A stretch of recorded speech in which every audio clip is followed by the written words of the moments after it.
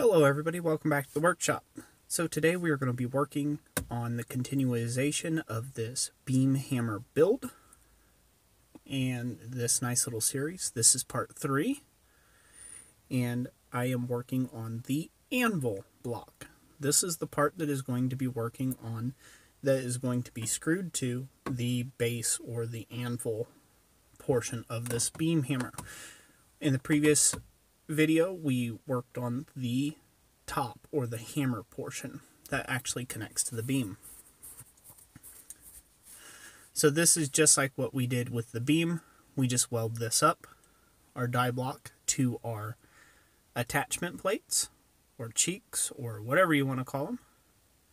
And you want this to be a pretty tight fit. So as you can see, I'm having to mallet it into position here and you know this is actually a good thing. You want it to you want it to be a fairly tight fit.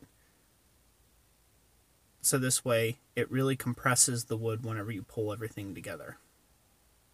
So now that that's on there now there I've already got my holes in place. I can go ahead and take a paddle bit and drill out the holes. So this is where good prep work on the steel first is a good thing. Now what you're going to notice here I'm going to start struggling with these bolts to get these through. Once again, since I just did this by eyeballing, I ended up getting the holes a little crooked. So that means they didn't want to quite line up. So that means I had to kind of just, you know, tweak it around a little bit, play with it, get a few bolts in. And in fact, at one point, you're going to even see me bend a bolt slightly just so this way I can actually get it in uh, and get this thing attached. But, you know, the straighter you drill the holes, obviously the better off this will be. So this takes a little bit of finagling because there are four bolts that you have to deal with to get these things together. But once you get them through, you know, you're in good shape. And this one I was particularly struggling with, so I just took it out and give it a little bit of a bend. No big deal. Dude, right on through it goes. So after we get this anvil part uh, done and completed, we're going to move on to the actual traveler system.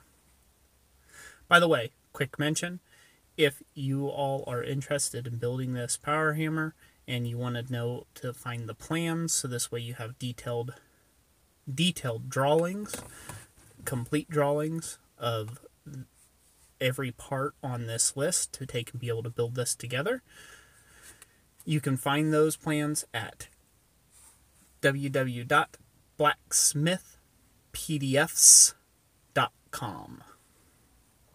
And that's where you can take and find that. I'll try to put a link in every one of these videos to that in the description box down below. So as you can see, I'm using a scrap piece of lumber here. This is of the same thickness and width that my actual beam is that this is going to traverse on. And what this allows me to do is this allows me to set the exact thickness that I want.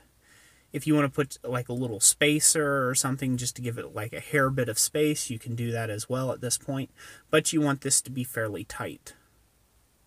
That way it slides nicely on the wood itself column. Now I'm welding up the traveler pin. This pin is what's going to be connected to our tractor top link later on in the video, and you'll see how that goes. And then now this is the bottom piece. Now I didn't show drilling all the holes and all the cutting off of each of the individual pieces to length. Like I said, if you have interest in that, you can go check out the plans. They're for a $3.99 download, so you can go check those out if you have interest in knowing all the measurements. But essentially, this is what we've come up with so far. Now, after I've got my spacers uh, for the actual traveler linkage and everything and bolt, and I figured out and made sure that was all going to work together, I figured out how far I needed to come in for the pillow block bearings. And then that's what we're mounting right now are these plates. Once again outlined in the plans. But if you look at this here, I'm just trying to get this welded up. The main thing, you want these to be nice and square and you should have something that looks like this.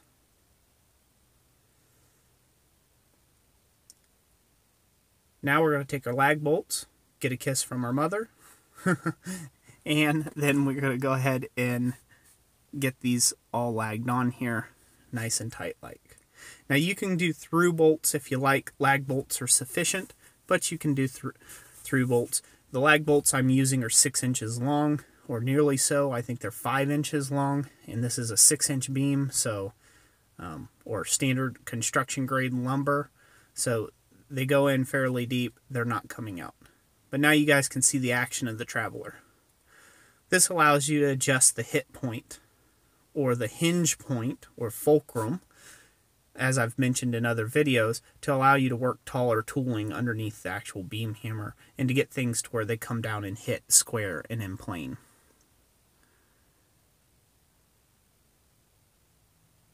Now we'll take our beam that we finished up in part two of this video series and we will insert it into the one side and then we'll add the other pillow block bearing to it.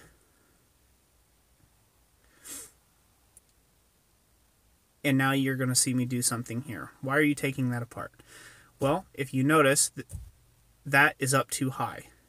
What we want is we want the beam to be completely horizontal nice and parallel across the dies at its furthest down position. So the collapse position of the actual tractor top link, we want that to be at the bottom out position and it to be nice and cleanly horizontal. There you have it. So here's just a little picture of the way it's going to look when it's finished. Once again, you can find these plans at my website. God bless you all check the description box for more information, and we'll catch you on the next one.